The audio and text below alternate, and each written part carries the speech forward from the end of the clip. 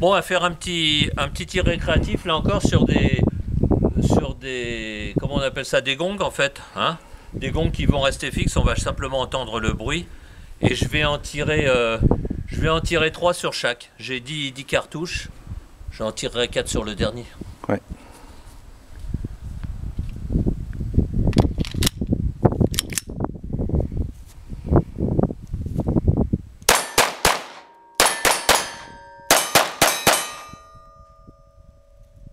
C'était bon J'ai pas entendu le, le premier, je sais pas si j'ai touché le premier, je crois pas. Euh, j'ai dû en rater le premier, j'étais Ouais. trop vite. Les- le deuxième et troisième, j'ai Deuxième et bien, troisième, bien mieux, entendu ouais. les coups. Ouais, et puis le, le dernier final, 4 coups, c'était bon. C'est bon. Bon, là, on va faire un, un petit tir récréatif sur des, sur des gongs, là. Donc, on entend bien les bruits. Là, je suis à 12, euh, 10 ou 12 mètres. Je dois être à au moins 10 mètres. hein. Euh, J'ai 10 cartouches, donc je vais tirer 3, 3 et 4. Euh, en essayant de ne pas les rater. Alors, j'ai pris des Hyper Speed Winchester qui sont puissantes. Ça fonctionne parfaitement bien. Par contre, elles sont pas très très précises. Mais normalement, pour toucher ces gongs, ça ne devrait pas poser de problème. Euh, voilà. Bah, on va y aller.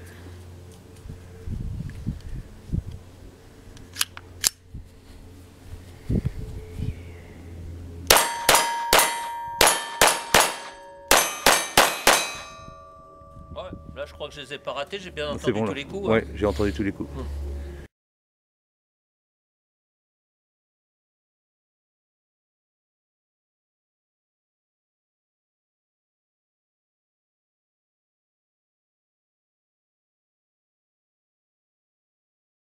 Bon alors là tu vas faire un tir euh, donc 10 euh, 10-12 mètres Ouais. euh, sur les gongs avec le Chiappa et là tu as mis des Winchester euh, Super X, hein, c'est ça?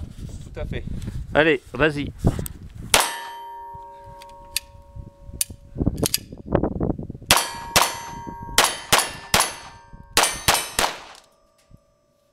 Bon, t'as eu un enrayage, non Quand il s'oreille pas, ça passe.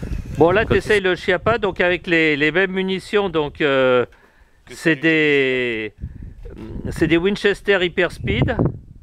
Euh, 10 coups, donc tu tires 3, 3, 4. hein. Alors attends, attends, attends, vas-y, c'est bon. Bon, bah ça marche, il n'y a pas d'enrayage. Tu vois, il faut tirer des munitions assez puissantes quand même pour que ça, pour que ça fonctionne. Bon, alors à ton tour, donc tu vas essayer le, Le SIG. donc le, le SIG avec les, les, les Winchester euh, Hyper Speed. Donc euh, 10 coups. Vas-y.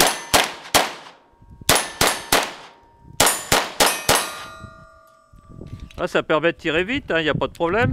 Il n'y a aucun, aucun problème ni d'encrassement et tout. Bien. Donc on va, on va terminer ce, ce banc d'essai donc, euh, du, du Six Hour 1911-22.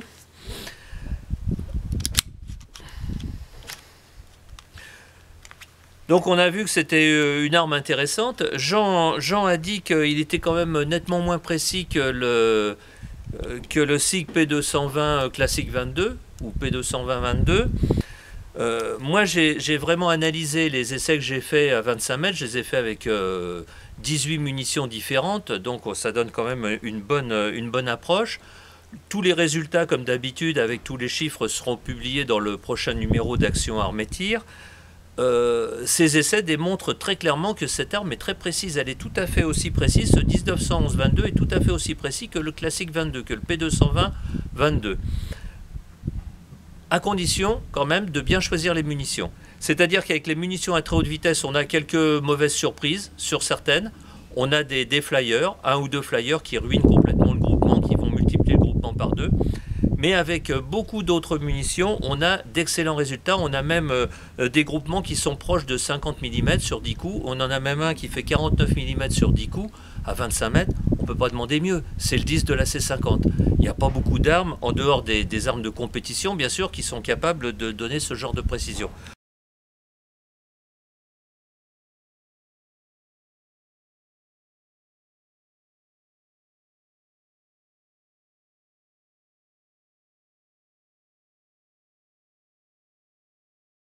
Donc vraiment euh, très satisfaisant. On a vu une fabrication tout en alliage. Alors c'est pas de l'alliage léger, c'est de l'alliage quand même relativement lourd. On a l'impression d'avoir une arme en acier. Euh, c'est renforcé d'acier aux endroits qui sont importants, c'est-à-dire que là, on a, on a vraiment un renfort interne en acier. Tout le couloir du percuteur et, le rempart sur lequel vient s'appuyer la, cartouche est en, acier. Le chien est en acier, la détente est en acier.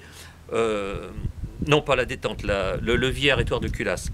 La détente et le reste est en, alliage. On a des éléments de visée en, plastique, euh, mais qui sont de bonne qualité, qui sont réglables. Tout est, fourni. Alors, un démontage un petit, peu, complexe, mais tous les outils sont fournis. Et puis, il y a une, euh, une brosse de nettoyage coudée de façon à pouvoir nettoyer la chambre. Un nettoyage sommaire sans démonter, l'arme. On n'est pas obligé de démonter l'arme à chaque fois. Donc, euh, moi, je suis très confiant. On a bien vu avec le 19, avec le, le classique 22, on avait eu, euh, n'avait pas eu de problème au moment des essais. Et puis après, au bout des, au bout de quelques semaines, euh, il y a eu des tas d'incidents de tir à cause du chargeur. Là, je pense qu'il n'y a pas de risque parce que vraiment le chargeur a l'air d'être de bonne qualité. Je suis assez confiant. Et euh, s'il y a un pari à faire, moi, je, suis très confiant sur l'avenir de cette arme. Maintenant, bon, seule une utilisation intensive et longue pourra vraiment nous le, nous le confirmer. Voilà.